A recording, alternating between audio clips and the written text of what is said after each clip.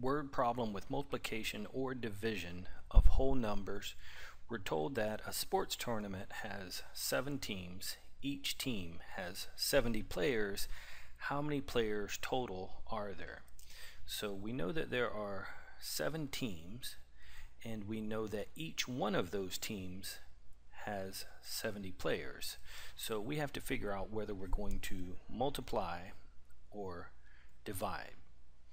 So if each team has 70 players, then one team would have 70.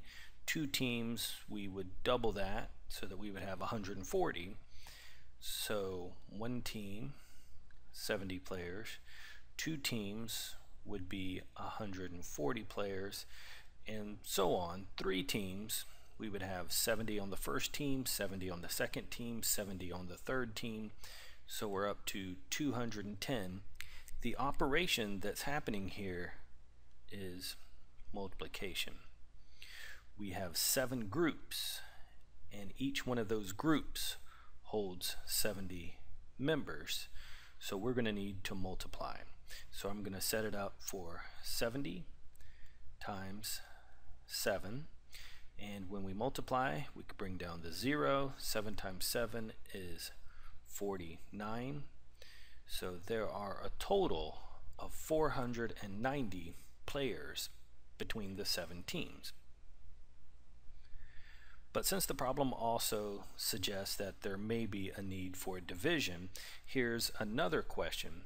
And this time it says Michael has a bookcase with 32 books.